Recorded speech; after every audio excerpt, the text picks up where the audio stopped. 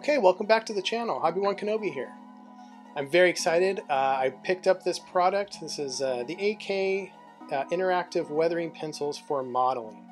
And I have yet to work with these. So we're going to have fun. We're going to take a look at what this is and actually go ahead and put them to use on a model. The set is pricey. They apparently have uh, smaller sets that you can buy with just a few uh, pencils, but they're probably a pretty good value uh, if you're limiting yourself to one subject. So I believe they have some for certain aircraft, they have some for certain armor, um, and if you're if you find this price to be a bit too high for the full set, probably better to just go ahead and get what you need specifically for that moment. Here we go. Okay, so kind of fold out here. These are half of the pencils, it looks like, and the other half. Great. I've got a little sharpener here that we could probably use. But let's take a look and see what we have here.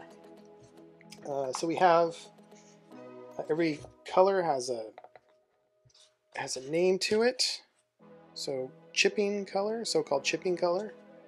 All right. Um, some dark chipping for wood. We have some rust, sepia, dark green, light green, olive green, etc. Black, of course, rubber, uh, dark gray, neutral gray. I'm seeing gold. Wow, very cool. Copper, some red primer. Wonderful for those World War II German vehicles. All right, looks great.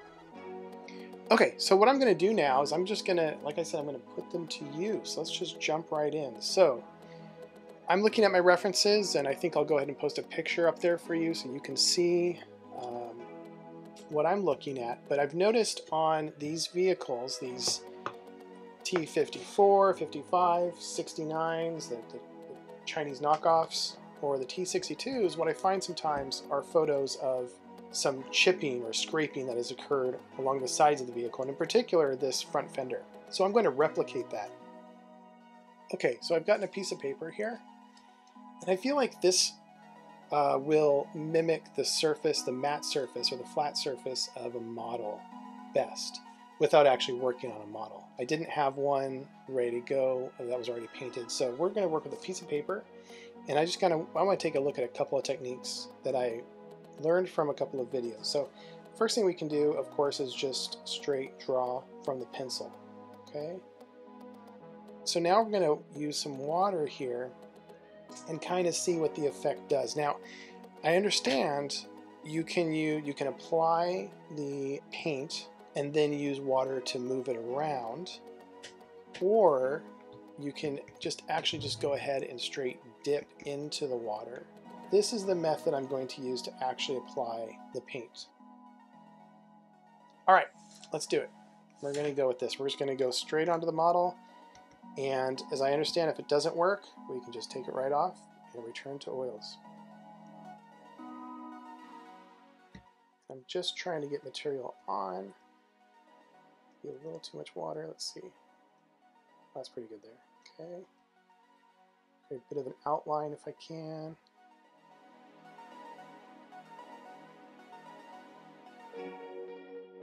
So what I'm doing is I'm dipping into water here, a little cup of water. One dip into there, one dip onto the paper to remove the excess of the water. And that seems to allow good amount of material to come off of the pencil.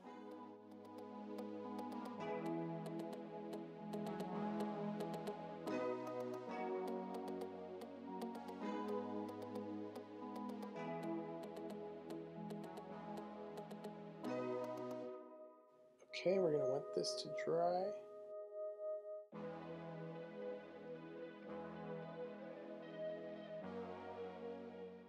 Okay, so I've got the basic shape here. It's not bad. We're going to let that dry and uh, then I'll come back and apply a little bit more as we need. Ooh, okay, what I'm seeing here yeah, if it's wet, it definitely clumps up like paint. That's interesting. Alright. Okay, so here we are. Uh, this is going to be round two. What I've done is I removed the uh, weathering pencil material, it didn't quite work. It was uh, clumping up. I used a brush to sort of smooth it out, spread it around, which, which worked out fine. Uh, the color just isn't right. So I think part of the problem here is that I'm going to be limited by the colors. Now, I'm sure that if I spent some time with the pencils that I could mix and match blend colors. But I'm not really in a position to want to do that right now. So I'm going to return to my trusty oil paints and we're going to mix the color and we'll go from there. Alright, so I think what we're looking at here is going to be a, a mixture of gray. So we're going to get some black going and I need some white, obviously. And I, I think there's just the slightest bit of brown in there, so I'm going to use a little bit of that as well. All right, so now going to want to have more white than any other color at this point. I'm not sure how much I'll need. I'll kind of kick some off the side here. There we go. And then I'm going to go into the black a bit. Not too much. Uh, it doesn't take much black to get a gray.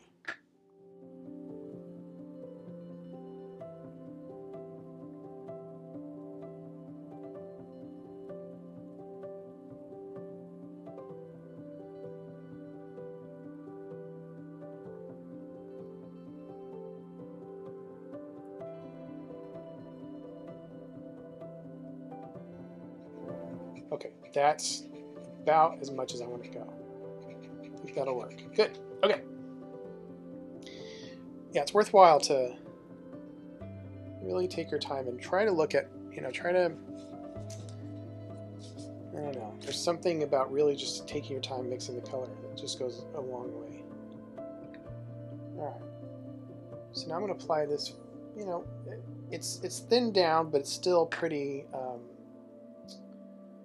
Uh, it's it's not runny. I don't I don't want runny right now. I want to be able to just drop it in certain places. I'm gonna come over the side a little bit.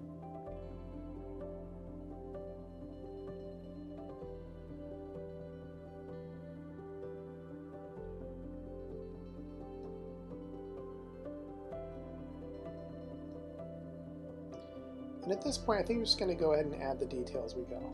So I don't get caught up in this sort of shape I was getting before.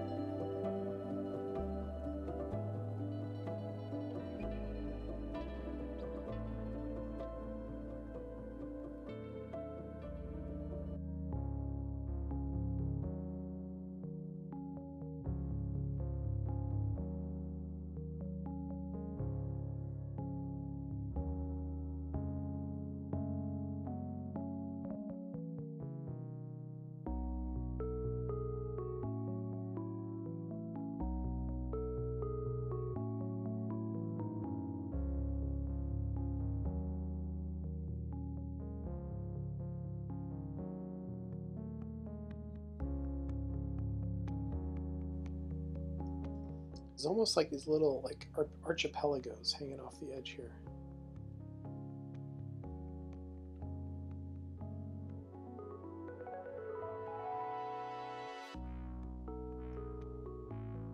And they all seem to have a good straight edge to them as well. I don't want to I don't want them to be fuzzy at all. Okay, I'm going to pull up. There's a bit of a dent there, so we'll work on that as well going to pull up into this direction. I'm not going to do exactly what I see in the photo. I'll make it pretty close. And then I think there's a whole nother set of patches, or a whole nother patch kind of up here.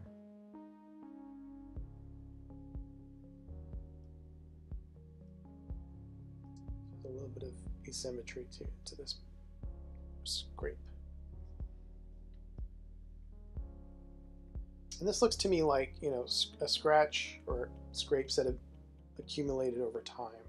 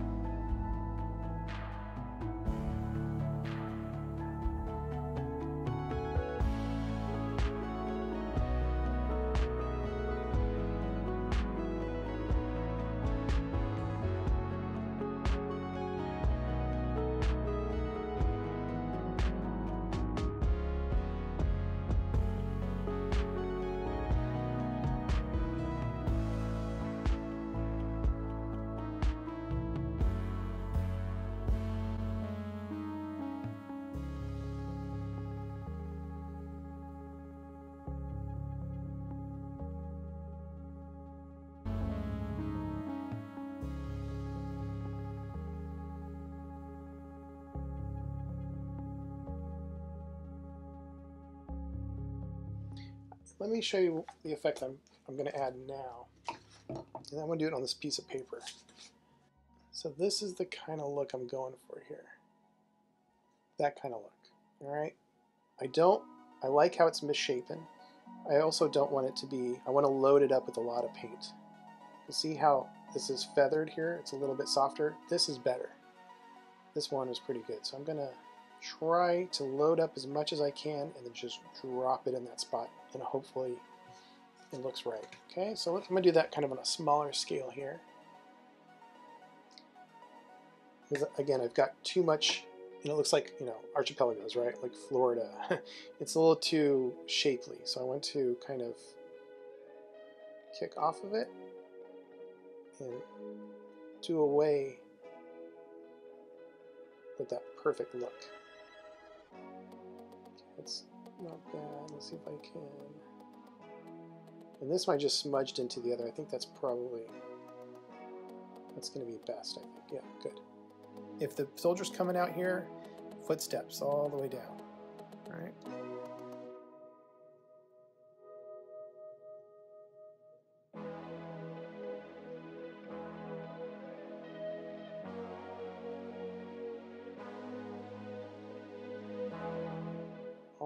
Edge.